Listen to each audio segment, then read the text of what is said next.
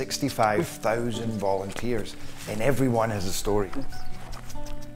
This is a guy who, when he came down to pick up the food, he was wearing his best clothes, his best shirt. When he founded that, I'm like crying to saying this.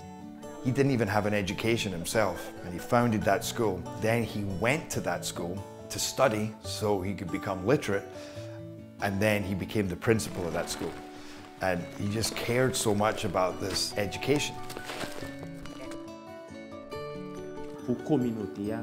E l'ekol la se ev, se yon monument seleb, se yon so inefasab nan kominote ya.